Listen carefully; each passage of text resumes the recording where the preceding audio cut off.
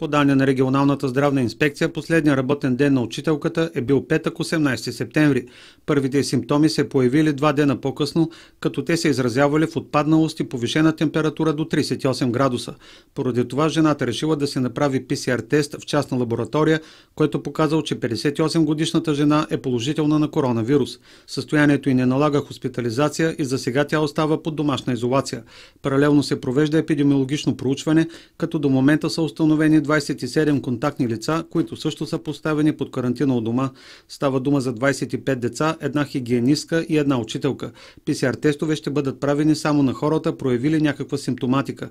По-настоящем става дума за 8 деца от детската градина и още две, които не са оттам, но са контактни на болното лице. Припомняме, че вчера бяха обявени още двама ученици в Русе с положителни проби за коронавирус.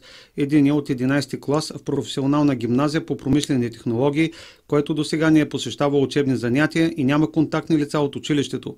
Другото момче е в 9 клас в Националното училище по изкуствата.